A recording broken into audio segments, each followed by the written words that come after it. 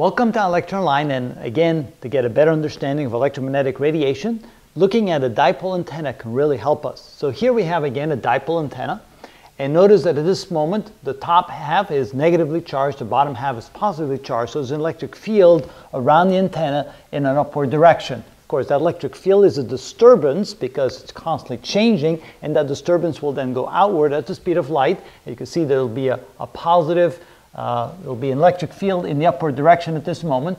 But as the uh, electronics of the antenna starts to change the polarity of that antenna so that there's less and less charge at the top and less, less a negative charge at the top and less less positive charge at the bottom, you can see that the strength of the electric field begins to diminish. Again, that's a disturbance in the electric field. That disturbance continues to move outward at the speed of light. Eventually, there's no charge neither at the top or the bottom, so the electric field goes to zero at that moment.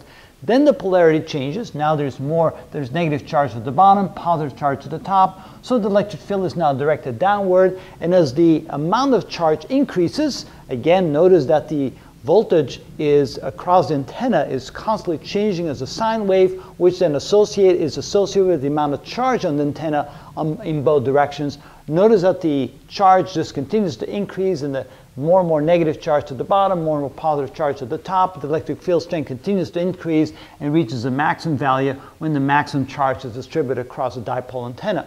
And notice then, as the uh, disturbance of the electric field tends to emanate away from, from the antenna at the speed of light, again with this one as well, then you can see how you begin to have that sine wave, and as then the amount of charge here begins to diminish, the electric field begins to diminish. You can see that again, there will be a signal sent outward as a sine wave. This is then the electro, eh, this is what we call the electric field oscillation that then moves out into space, which is then known as electromagnetic radiation. So that's the basics of how an antenna works. You just keep on switching the polarity of the antenna. Of course, it's not done instantaneously. It's done over time as a sine wave. Charges increases, charges decrease, then change polarity, charge increase, they decrease, change polarity, back and forth like that. And you can see how then a sine wave of electromagnetic radiation would then emanate out into space.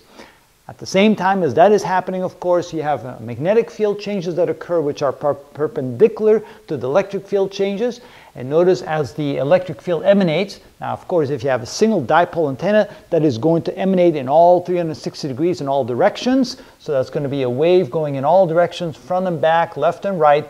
And then of course you're going to have the magnetic field oscillations oscillating like this, perpendicular to the electric field oscillations in all directions. You can see then that the magnetic field oscillations will be oscillating back and forth like this in all directions as the electric field uh, goes out in a radial direction. So that hopefully again helps you understand how electromagnetic radiation is produced, in this case by a dipole antenna, and slowly but surely we get this full picture of what E&M radiation is. So if you're still interested, stay tuned and we'll continue along this path.